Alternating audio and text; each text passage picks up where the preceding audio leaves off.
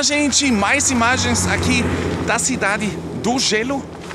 Cedo de manhã, a gente dá uma voltinha, levando vocês junto e através dos nossos vídeos, vocês ficam conhecendo como está a nossa situação com a neve, né? E um ontem nos comentários escreveu: Ah, Caio, agora vocês vão usar o gás, vocês vão ficar sem gás. Não, não, gente, não. Também não é assim, né, gente? Um pouco de neve e logo, logo a gente fica sem gás. Não é bem assim, tá, gente? Não esquecem. Outro me escreveu: Mas, Caio, você avisou que vão ficar sem gás e, e agora o que está acontecendo? Nada disso que você disse está acontecendo. Gente, gente, eu acredito que muitos não acompanham o canal constantemente. E de vez em quando olham, aí vejam um vídeo e já comentam. Né? Para entender tudo aquilo, vocês têm que acompanhar mais vezes os nossos vídeos. Né? Porque senão fica justamente um comentário como esse. Ah, mas você disse que vocês vão ficar sem gás, etc. Ninguém podia saber. Nós estamos agora em final de janeiro, já indo para o final de janeiro. Tá? E até agora nós tivemos temperaturas amenas. Realmente tranquilo aqui. Temperaturas mais frias de 6, 7 graus negativos. Tinha também de 10, mas isso também eram poucos dias. Mas na maioria a gente tinha assim temperaturas de 2, 4 positivos a 2, 4 negativos. Então, realmente, um inverno bastante ameno. E isso, logicamente, faz com que a gente não gasta tanto, tanta energia. Né? E isso faz, logicamente, também que a gente, do armazenado, a gente ainda tem sobrando. E por isso a gente não está nessa crise. Né? Que normalmente os nossos invernos são um tanto mais graves. Né? Mas como eu sempre disse já no passado, os verdes têm muita sorte.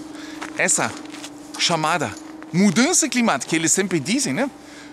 Se realmente existe dessa forma, ajudou os verdes dessa vez porque o nosso ministro da Economia é um dos verdes e essa mudança climática ajudou a ele para dizer hoje que ele fez um trabalho muito bom, sabe? Porque nós não estamos com falta de energia. Mas isso ele não tem culpa, e sim a temperatura do ambiente. Certo? Ó, ó, lá, o trem. Quietinho, quietinho. Veja só. Uh, que legal, né, gente? Opa! Olha lá. É, e aqui tem essa barreira, né? Ó.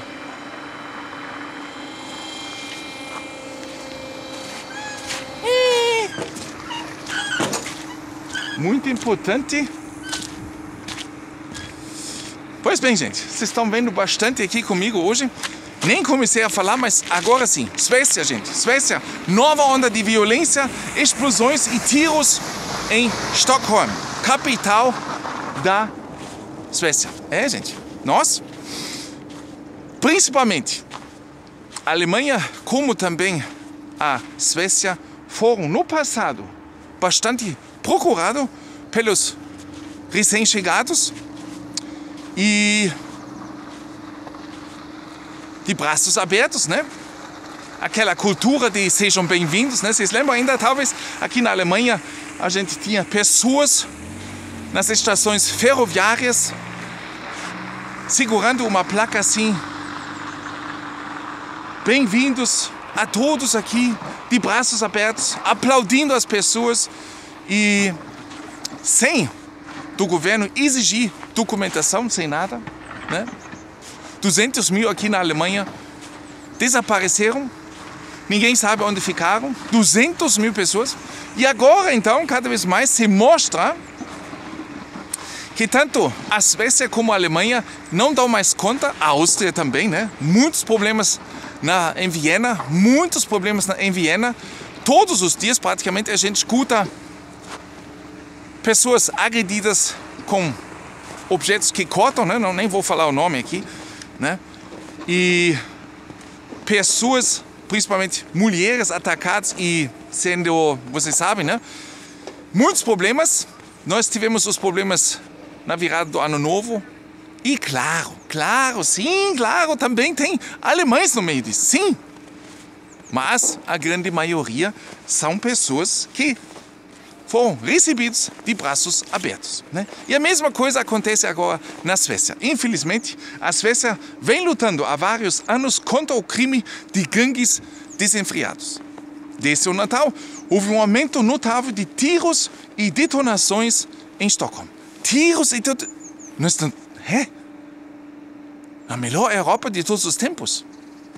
Nós falamos esses dias de um assalto sobre um, um, um carro de, de, de dinheiro, né? Falei esses dias para vocês também. Brutal, né? Essa é a melhor Europa de todos os tempos. E cada vez mais nós somos confrontados e a polícia não sabe como reagir. A polícia suspeita de lutas pelo poder no meio da droga. Ah, que, coisa boa, né? É chegando tudo aqui também, né? Porque a gente abre as fronteiras, deixa todo mundo entrar, né? Tiros noturnos e explosões. Em algumas partes de Estocolmo ocorreram repetidos atos de violências nos últimos dias. Isso continua um desenvolvimento que levou a um triste recorde no ano passado. Eu já falei de vocês, para vocês, que nós estamos cada vez mais tendo novos recordes aqui, né? Sempre falo de recordes, é, um recorde isso, recorde daquilo, etc, etc. É, e agora, novo recorde no ano passado. Né? Sempre novo, né? Mas infelizmente não são recordes ótimos, bons. Não, gente, são aqueles que levam a gente a pensar onde nós estamos vivendo. Há vários anos, a Suécia vem lutando contra o crime de quadrilha desenfreada que se manifesta repetidamente em tiroteios e explosões. Em 2022, houve 388 incidentes com tiros no país da União Europeia. De acordo com estatísticas policiais, 61 pessoas morreram, mais do que nunca em um único ano. Agora vocês vão dizer, ah, Caio, mas isso não é nada. Nós aqui, se você comparar com a gente, isso ali não é nadinha de nada. Né? Eu sei, gente, eu sei. Mas nós temos que ver como era o país há 20 anos atrás e como se mudou esse país na situação de hoje. Então, para quem nunca nada tinha disso, é muita mudança. Né? Certo? E por isso, para nós, é um recorde. Em Estocolmo, os tiroteios e detonações aumentaram consideravelmente desde o Natal. No início da manhã de sexta-feira, semana passada, pela segunda noite consecutiva, um apartamento no distrito periférico de Fasta foi atingido sem que ninguém fosse ferido. Ainda bem. Algumas horas antes, uma carga explosiva havia explodido em uma escadaria em Asta, também no sul de Estocolmo. De acordo com o jornal Aftonbladet, foram encontrados restos de uma granada de mão. Mais uma vez, ninguém foi ferido. E não foram feitos detenções. O pano de fundo desses atos é suspeito de ser, entre outras coisas, um conflito sobre o mercado de drogas na cidade de Sundsvall, a cerca de 400 quilômetros ao norte. De acordo com a estação de rádio SVT e o jornal que eu citei antes, um jovem de 24 anos com uma rede criminosa até no comando lá, mais um notório garoto de 36 anos e sua comitiva quer desafiá-lo para essa posição. Um jovem de 24 anos que mantém o controle está sendo afetado ou atingido por um jovem de 36 anos. Ah, sejam bem-vindos aqui, né? Bom, né? Quando a gente abre as portas e deixa pessoas entrarem assim, nessa idade de, de jovens tal, e depois idade de, de trabalhar, mas eu trabalhar, trabalhar, não, não, não. Eu faço de outra coisa, né? É porque eles, muitos desses que vêm de outros cantos do mundo, têm um passado bem diferente do que daqui. O que para nós aqui são regras, para eles não é nada. Né?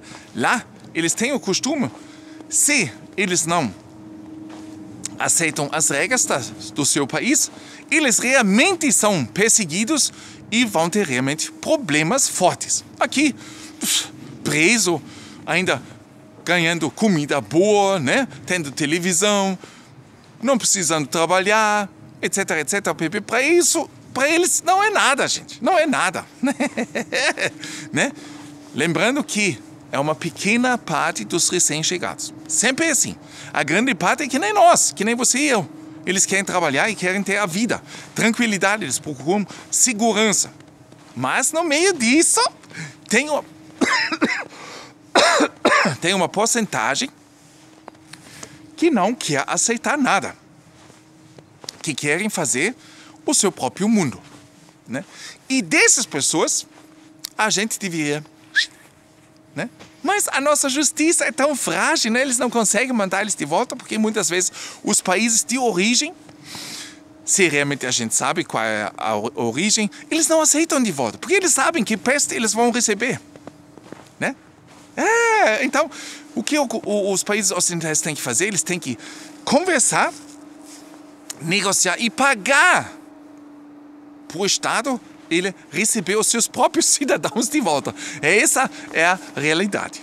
Sempre lembrando que, que é uma pequena parte das pessoas que vêm. A grande parte das pessoas, eles fazem a mesma coisa que nem nós. Trabalha, paga imposto, quer ter uma vida em paz, quer criar os filhos com segurança. Disse que vários dos atos são dirigidos contra parentes dos dois principais protagonistas desse conflito. Isso não é bonito, né? A nova normalidade também na Suécia. E na Suécia? Como assim na Suécia? É, tem tido muito a ver com a imigração nos últimos anos. Não, certamente não tem nada a ver com os tiroteios e atos de violência. Pensa um pouco sobre isso. Eu tento trazer o máximo de informações da Europa para vocês, para vocês poderem ter uma criar uma imagem, uma noção, mas não esqueça também de se informar em outros cantos, né? não só aqui no CAI, como também em outros canais. E também nesse vídeo gostaria de pedir a você um comentário se você vive na Suécia, como vocês vivem esse momento de violência. Talvez vocês nem percebem, nem sabem, porque são só apenas alguns casos. Mas comparando com os outros anos, virou um, uma coisa muito forte. Né? Gente, forte abraço, mão no coração. Fiquem ligados. Até mais.